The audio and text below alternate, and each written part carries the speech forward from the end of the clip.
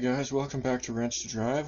I had the W2D4 out for a little uh, shakedown drive, and uh, I'm pretty happy guys. It's the first time I had it out where nothing went wrong. Now, you may be thinking, oh, it's 3D printed. Uh-huh, what went wrong? Well guys, uh, it wasn't really the 3D printed stuff that went wrong, it was uh, kind of a case of of me putting things together a little shoddy a couple of times, you know, wheel nut coming loose and other nut coming loose and then I broke two wheels. You might have heard me talking about that on another video. So this time I was running these nice uh, steel wheels here. And they worked uh, just fine with these uh, cheapo uh, super swamper tires.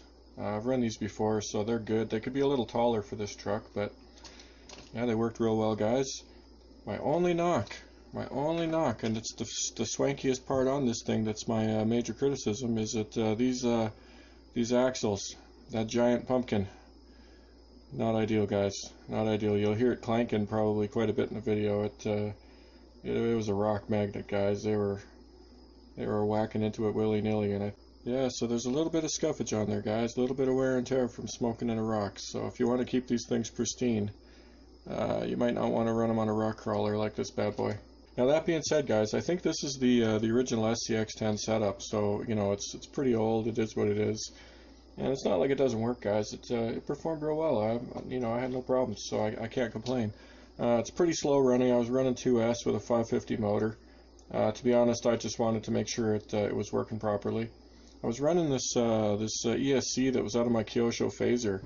Uh, I was having troubles running the Fazer with uh, with the uh, 14 turn motor, and I, I, don't. I think this has got quite a few more turns on it, so I thought I'd try it out in this thing and, and see if it actually is capable of running it.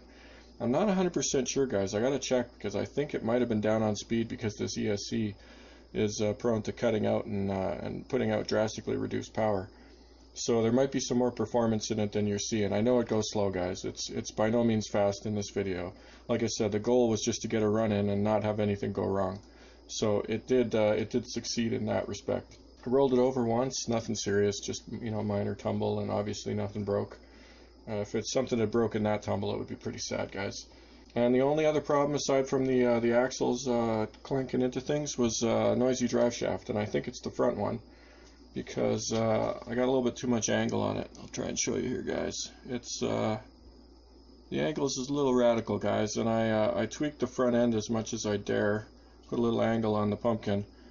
And uh, I think I'm gonna have to do a little bit of uh, modificating uh, to get that to work properly. Uh, maybe it might not be the front who knows? Maybe I'm wrong. Maybe it's something else squeaking but it sure sounded like a squeaky drive shaft to me. You might hear that in the video too. It's pretty obnoxious. So yeah all things considered performed well guys. And uh, yeah so enjoy the video and uh, stay tuned. Wrench to drive or drive to wrench